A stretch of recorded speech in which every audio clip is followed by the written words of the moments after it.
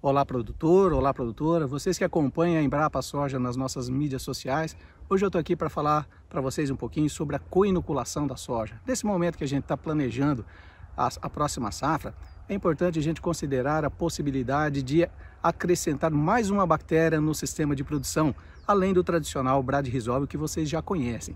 Essa outra bactéria é o azospirillum e o processo de juntar o azospirillum junto com o bradyrhizobio na inoculação da soja é chamada de co-inoculação, ou seja, uma inoculação conjunta. Né?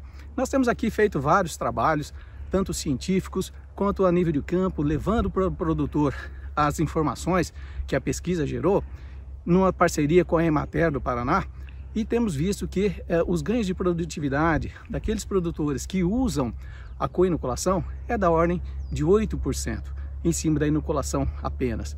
Esses trabalhos foram feitos e realizados em vários municípios do Paraná, nas chamadas unidades de referência técnica, e o ganho médio nessas safras que a gente avaliou foi que, fazendo a inoculação apenas com o brad rhizome, o ganho foi de da ordem de 120 reais por hectare. Quando a gente adicionou o brad rhizóbio no sistema de inoculação, esses ganhos foram para 290 reais por hectare, um ganho bastante expressivo entre várias propriedades que nós fizemos essa análise e acompanhamento dos produtores. Então, o uso desses dois inoculantes conjuntos, conjuntamente, vale muito a pena porque promove maior nodulação, melhora o sistema de raízes das plantas de soja e leva, consequentemente, um maior vigor da planta e maior produtividade final na grande maioria dos casos. Mas para que a gente tenha esses benefícios, nós temos que tomar alguns cuidados, como, por exemplo, usar as chamadas boas práticas de inoculação. E o que vem a ser essas boas práticas de inoculação? É a gente tomar cuidado para manter as células vivas, porque é, nós temos que ter consciência de que no inoculante nós temos células vivas e elas precisam permanecer vivas para que possam cumprir o papel que a gente espera delas, que é a promoção de crescimento da planta, a fixação biológica do nitrogênio. Né? Então, que situações que podem comprometer a sobrevivência dessas bactérias? Uma delas é a alta temperatura. Então, desde da aquisição do inoculante, é importante que a gente armazene esse inoculante num galpão que não atinge altas temperaturas. E o que vem a ser altas temperaturas? Vários trabalhos que a gente tem feito por aqui mostram que é, temperaturas acima de 32 graus já são estressantes para as células microbiana, microbianas e, consequentemente, pode levá-las à morte, baixando o potencial de inóculo, ou seja, a quantidade de células vivas nesse inoculante. A gente precisa de um número bastante alto dessas células viáveis nas sementes para que a gente tenha uma boa nodulação, uma nodulação uniforme e abundante nas raízes da soja, para que a gente tenha uma excelente fixação biológica do nitrogênio. Né?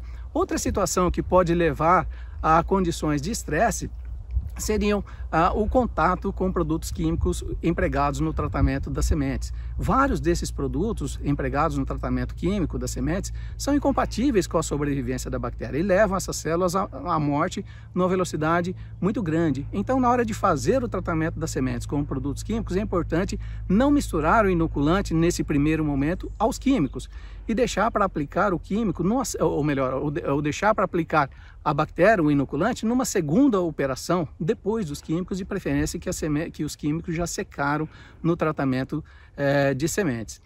O...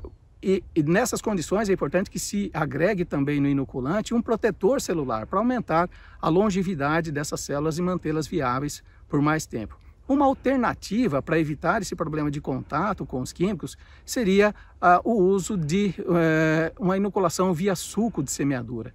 Então, eu devo adaptar uma semeadora né, com aplicação dirigido atrás da, do disco de distribuição das sementes e dessa forma colocar o inoculante junto com é, o bradyrhizobil, azospirilo juntos né, nessa cauda e aplicá-los em co-inoculação simultânea à semeadura. Esse processo ajuda a aumentar aí a sobrevivência das células e a melhor eficiência da inoculação. Então essas são algumas dicas aí que a gente fica à disposição de vocês aqui na Embrapa Soja para esclarecer qualquer dúvida que possa ter restado.